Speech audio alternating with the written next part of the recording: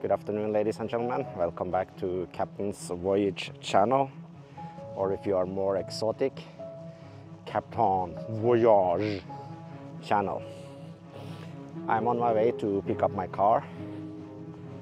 Uh, this summer I uh, was uh, backed into by a German uh, camper van that did not leave any phone number or contact details and I had to fix the damage. First we had to fix the dent, then we had to revarnish and now I'm picking up the car from reapplying the coating.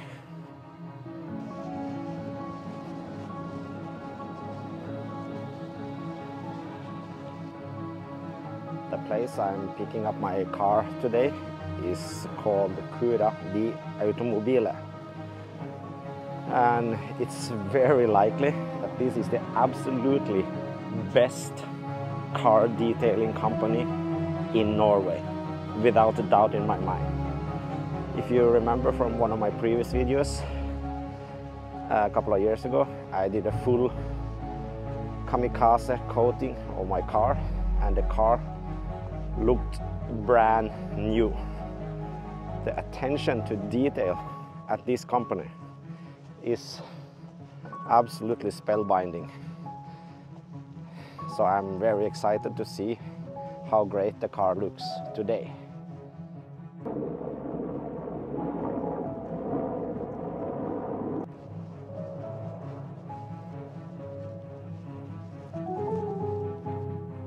The initial reason for dropping my car off yesterday at Cura di Automobile was to reapply the coating in the area of the repair. This is paid by the insurance. Uh, in addition, I asked them to do a re-detailing of my car. Uh, he's going to do the exterior and he'll also do the interiors. Freshen up the leather, deep clean, so it should look spanking brand new again. As you know, Jaguar XJ is one of the cars with the most amount of leather in the world. So he's got a big job done, I guess. It's going to be exciting to see how well it has been done.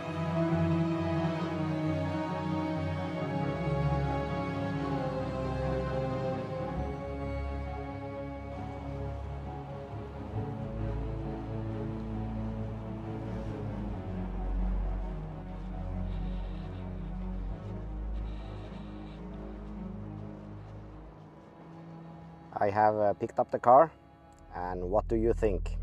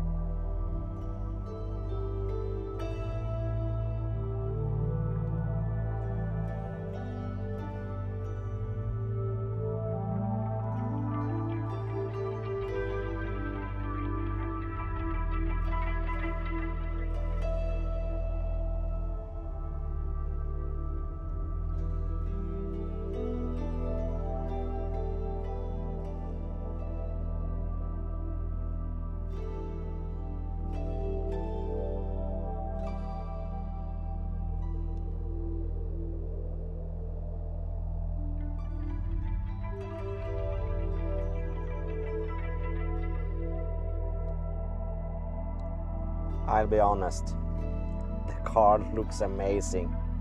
Um, the attention to detail, the detailing inside and outside, it's it's actually far better than I expected.